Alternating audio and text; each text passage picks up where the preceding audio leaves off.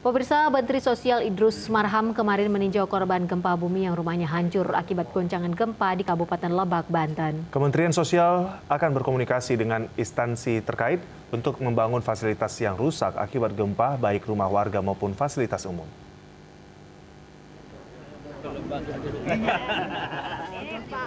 Menteri Sosial Idrus Marham bersama Wakil Gubernur Banten Andika Hazrumi dan Bupati Lebak Iti Oktavia Jayabaya kemarin mengunjungi korban gempa di sejumlah kampung di Kabupaten Lebak, Banten. Mantan Sekjen Partai Golkar ini mengunjungi tiga lokasi terdampak gempa, yaitu Cimandiri, Cilodrang, dan Bayah, untuk mengetahui kebutuhan warga yang terkena musibah. Kementerian Sosial akan membangun rumah warga yang rusak dan memenuhi kebutuhan warga yang terkena dampak gempa. Pemprov Banten menyalurkan bantuan beras, selimut, pangan, dan uang sebesar 230 juta rupiah. 255 personil Taruna Siaga Bencana atau Tagana juga dikerahkan untuk membantu korban gempa.